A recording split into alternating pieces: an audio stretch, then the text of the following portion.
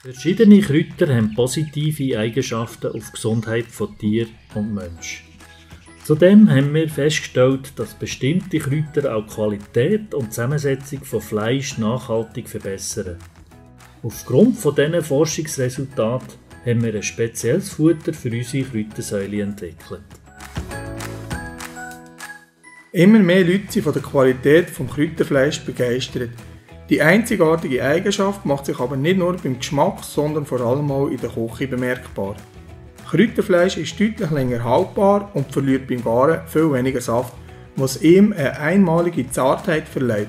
Das fällt auch den Gästen auf.